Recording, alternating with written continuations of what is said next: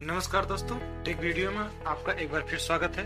मैं ज्ञानेंद्र पांडे, आज आप लोगों के लिए एक बार फिर एक नया वीडियो लेकर आया जिसमें मैं आज आप लोगों को ऑफ़ ग्रिड सोलर सिस्टम के बारे में बताऊँगा। जब बिजली बचत करने की बात आती है तो हम सोलर पैनल की मदद लेते हैं। सोलर पैनल दिन के समय में हमारी बिजली की काफ़ी बचत कर सकता है, अगर हम घर में सामान्य बिजली का इस्तेमाल करते हैं, जैसे कि लाइट जलाने के लिए, पंखा चलाने के लिए तो हम बैटरी बैकअप द्वारा रात को भी काफ़ी हद तक बिजली की बचत कर सकते हैं।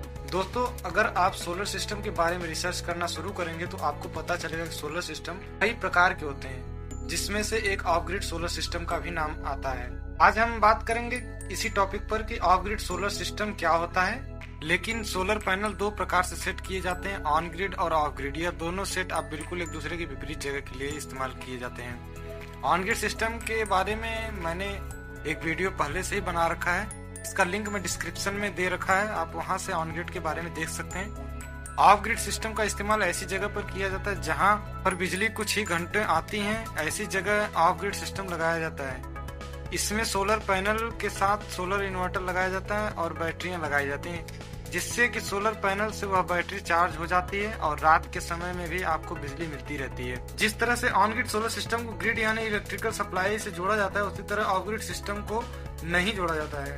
अगर आप ये सोलर सिस्टम अपने घर में बैठाते हैं तो आप बिना बिजली के कनेक्शन लिए ही 24 घंटे बिजली की सुविधा उठा सकते हैं और अगर आपने पहले से बिजली की कनेक्शन भी ले रखी है तो उसमें भी कनेक्ट कर सकते हैं। यह इनकी सामान्य से उदाहरण है कि ऑन ग्रिड सोलर सिस्टम कहाँ काम करता है। और ऑफ़ ग्रिड सोलर सिस्टम कहाँ काम करता है? जैसे कि पहले ही आपको बताया गया है कि ऑफ़ ग्रिड सोलर सिस्टम की मदद से आप बिजली की बैटरियों में स्टोर कर सकते हैं। और जब भी मेन सप्लाई नहीं आती है या रात के समय में आप बैटरी के द्वारा इस बिजली का इस्तेमाल कर सकते हैं। ऑफ़ ग्रिड सोलर सिस्टम में बिना मेन सप्लाई के या सीधे सोलर पैनल पर कोई बड़ा उपकरण चलाने के लिए हमें ज़्यादा बड़े इन्वर्टर की बैटरी की आवश्यकता होती। अगर हम साधारण 1100 सौ का इन्वर्टर और एक बैटरी का इस्तेमाल करते हैं तो उस पर हम सिर्फ़ हमारे घर के पंखे और लाइट इत्यादि चला सकते हैं। लेकिन अगर हमें बड़ा उपकरण चलाने हैं, जैसे कि फ्रिज एयर कंडीशन इत्यादि, इसके लिए हमें कम से कम 5000 हज़ार का इन्वर्टर लगाना पड़ेगा।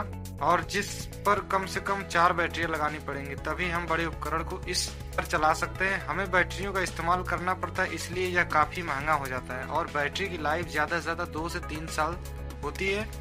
उसके बाद में हमें बैटरियाँ बदलनी पड़ती हैं जिसके लिए हमें और पैसे देने पड़ते हैं। सोलर सिस्टम लगवाने से पहले आपको यह देखना होगा कि घर में मेन सप्लाई कितनी आती है। अगर आ, आपके घर में दिन में समय में तीन से चार घंटे पावर सप्लाई आती है तो ऑन ग्रिड सिस्टम लगवाने का कोई फ़ायदा नहीं होगा। क्योंकि ऑन ग्रिड सोलर सिस्टम तभी काम करेगा जब आपके घर में मेन सप्लाई आती है।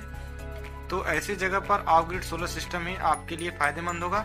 जब आपके घर में मेन सप्लाई नहीं होगी, तब भी आपको एक अच्छा पावर बैकअप मिलता रहेगा। उम्मीद करते हैं दोस्तों वीडियो आपको समझ में आई होगी।